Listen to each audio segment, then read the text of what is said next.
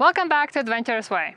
I'm Diana, and today we're visiting Petrified Forest National Park in Arizona. This is unit number 24 on our journey to visit all national park units.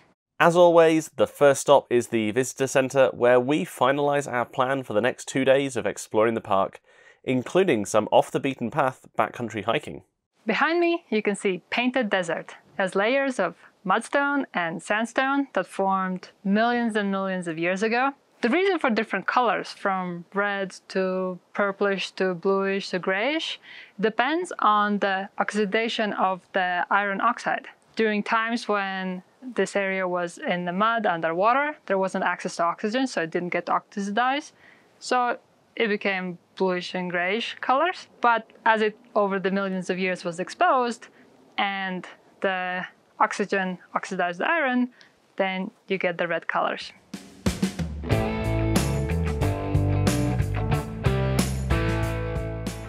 Petrified Forest National Park is the only national park that preserves a portion of Route 66. The Desert Inn used to be a stop, a cafe, and, uh, Gas station. and a gas station. The Painted Desert Inn was built around 1920 using petrified wood. In the late 1940s, it was reopened under the Fred Harvey Company management. The Harvey Company in the 1880s created America's first restaurant chain, and it also became famous for its Harvey Girls, young, single, intelligent women who were also of good character, who were hired as waitresses at the Harvey houses because they were more dependable than male employees. The Harvey Girls were the first female workforce in America. Now we're doing the rim trail uh, that starts at the Painted Desert Inn to see this beautiful painted desert behind us.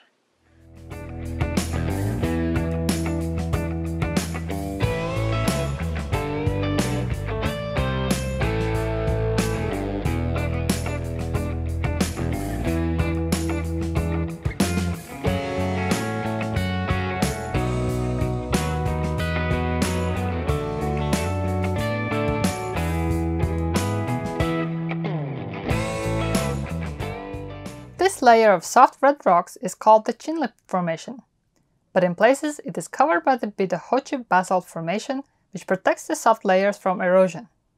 Petrified Forest National Park is a fantastic place to learn about geology. We're calling it day for today and we'll restart tomorrow. We'll do the drive across the Petrified Forest and we'll stop at the hikes along the way. Welcome back. Today is our second day of exploring Petrified Forest National Park. The plan for today is we're going to drive the entire 26 mile scenic drive that goes all the way through the park. And along the way, there's a number of stops. So at each place, we're going to stop, and if there's a hike or something there to do, we're going to go out and explore the area. Our very first stop today is right here, and this is the crossing of Route 66 through the park. You can see the old car there behind me to mark the point. Petrified Forest National Park is the only national park with a stretch of Route 66 going through it. And since we're following Route 66 all the way from Santa Monica Pier up to Oklahoma, it only made sense for us to stop here and see the car. The car is the shell of a 1932 Studebaker, donated to the National Park Service by Arizona Automotive Service in Holbrook, Arizona.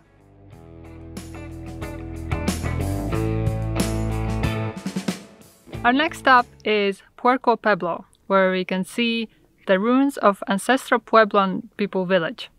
At its peak, researchers estimate that 200 people may have lived here. This village here was occupied between 760 and 630 years ago.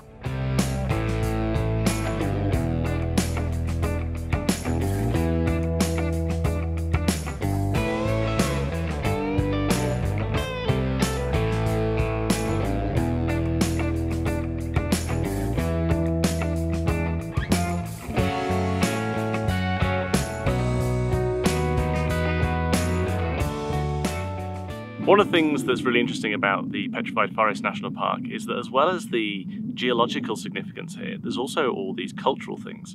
And one of those is that the ancestral Puebloans who lived here created petroglyphs. Now on the rock behind me there's a petroglyph of a spiral and what's fascinating about that particular spiral is that the center of the spiral is perfectly aligned with the summer solstice. As the light comes through a rock nearby, it shines down and ends exactly on the center of that spiral.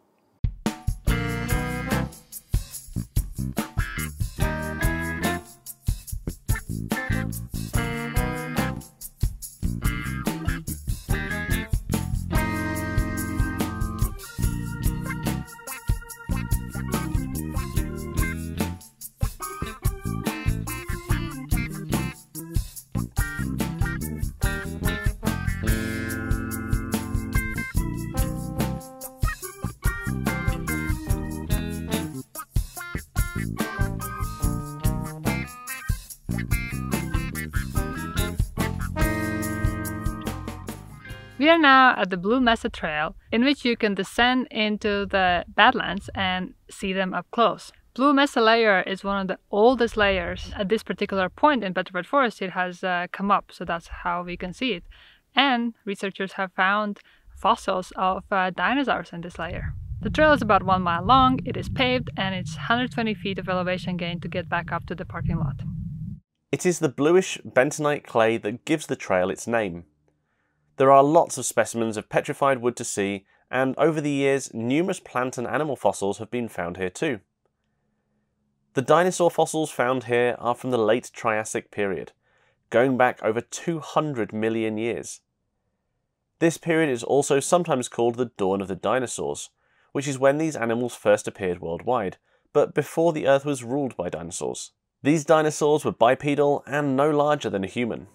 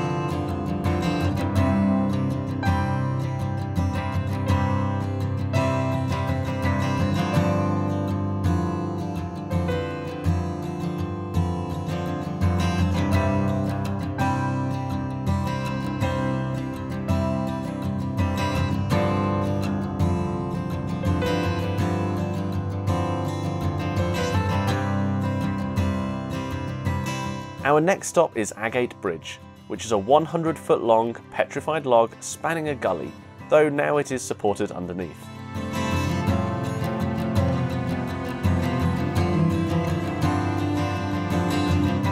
Next is a very brief stop at Jasper Forest because we will be back there the next day for a backcountry hike.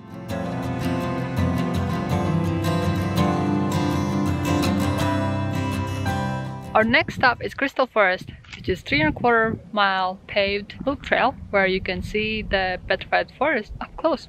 220 million years ago, this was a forest.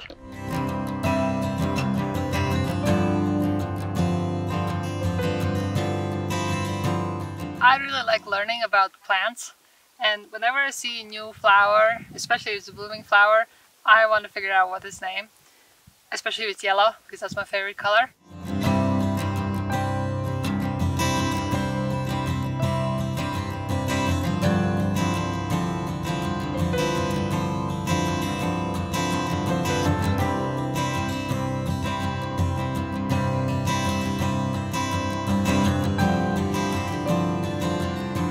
So what do you think of the Petrified Forest so far? I really like the uh, Petrified Forest National Park here. I think it's incredibly accessible just off the interstate. I think you could do it in a day if you wanted to. Uh, I love the, the variety. We've seen petroglyphs, we've seen petrified wood, we've done some hiking, we've just done a lot of interesting things, and there's still a lot more to go. So, uh, early impressions, so far so good. I like it. So now after lunch, we'll continue on to the next stops. Yep. So uh, this morning we've done a lot of the kind of the, the photo stops and the, the short walks and things. Uh, we've got a couple more walks this afternoon that we're going to do. Then not long. I think it's about three miles total across the, the few of them. And then tomorrow is the backcountry hiking, which I'm pretty excited about. Me too. Rainbow Forest Museum and Visitor Center exhibits fossils and skeletons of prehistoric plants and animals. We are now on the Giant Logs Trail and we picked up this uh, trail guide that talks more about each stop. It's very interesting. Sandstone platform provides a commanding view of the Rainbow Forest building complex. These were some of the first structures built here for park use.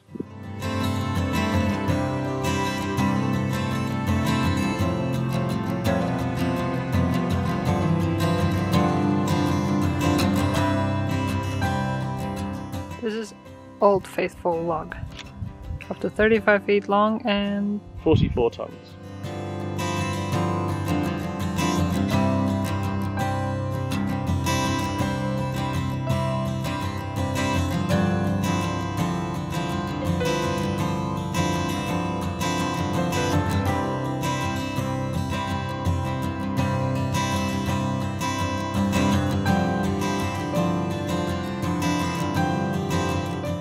Our final stop of day two of exploring Petrified Forest National Park. We are now at the Forest Museum down here and we will hike up Long Logs Trail up to Agate House, which is Pueblo uh, ruins built uh, from the petrified rocks. And then we'll do this loop back and come back down here.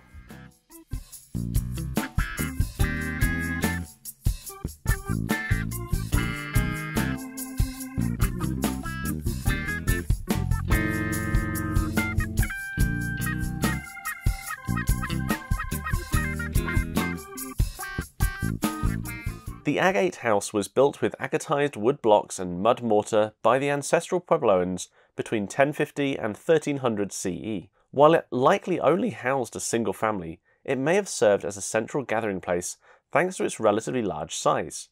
Its construction was thought to have been unique when it was first discovered by archaeologists in the 1930s, but hundreds of similar petrified wood structure sites have been found in the park since then.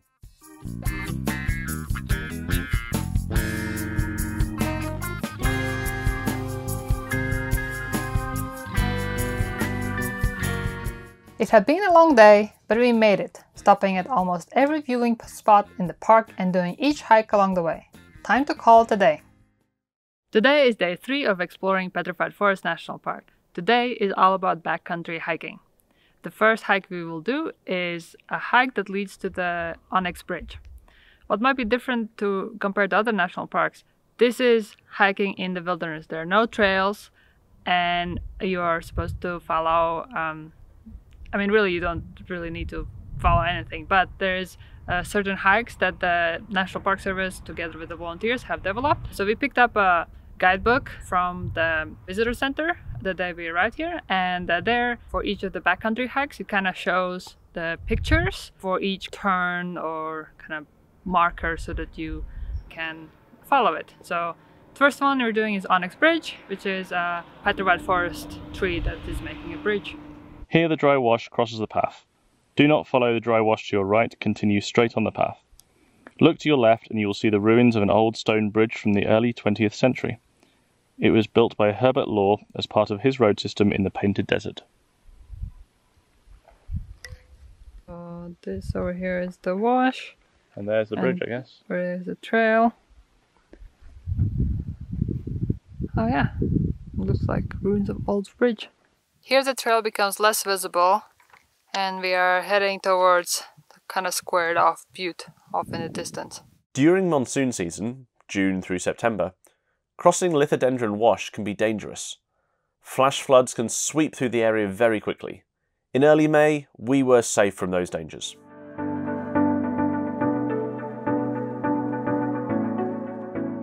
So we are standing just here in front of that mound there and we're going to head on left just around there and I think the Onyx Bridge should be just at the top of the rockfall.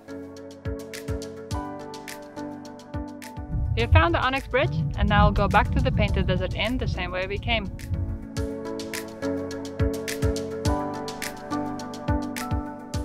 Let's talk about how this petrified wood was made. 220 million years ago, this was a tropical forest and there was a river flowing through it. So the trees uh, from that forest, they're falling down in the river or the banks of the river and they get buried under sand and mud. Also during that time, um, volcanoes erupted. So the ash also was in the mixture of the mud and the sand. Because they were buried underground, underwater, oxygen couldn't get to them. So the, they were well preserved. They didn't decay. So that over time, over millions of years, water percolated through them, and water was rich in silica. This is because of the ash. The ash mixing into the water um, had silica and other minerals. So then, as it's percolating through the tree, over time, it binds to the cells of the tree and replaces the organic matter with uh, quartz. Millions of years later, the whole tree becomes uh, quartz rock. And then about 60 million years ago, this area starting started to raise up and the layers above started to erode and that's when these rocks started to become visible.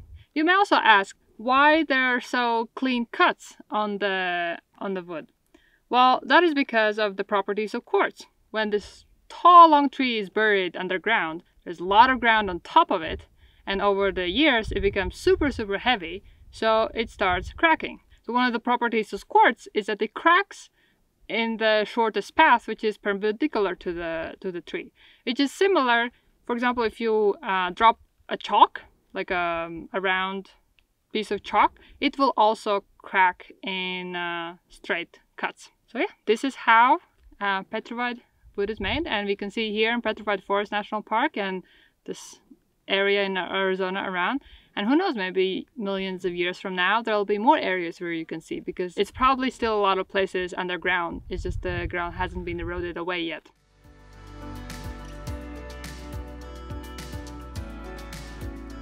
We just got back from the Onyx Trail backcountry hike.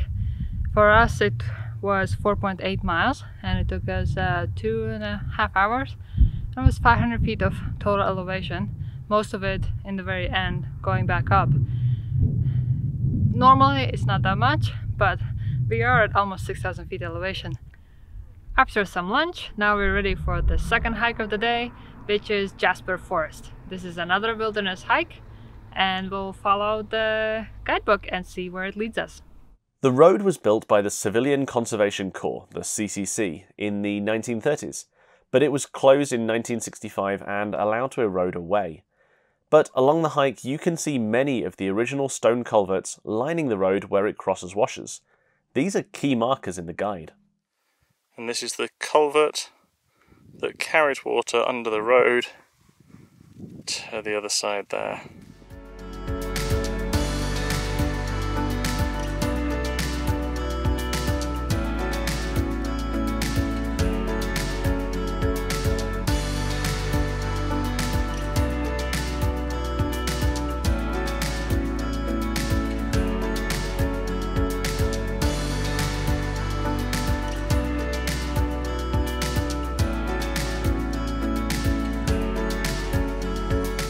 Where we just walked on used to be an asphalt road.